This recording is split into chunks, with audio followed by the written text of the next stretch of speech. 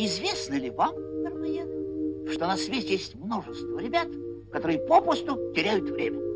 Вот мы и должны это время подобрать и взять себе. Птительница пения, то фасоль, выдал из терпения, соль по мире Кажись, полный.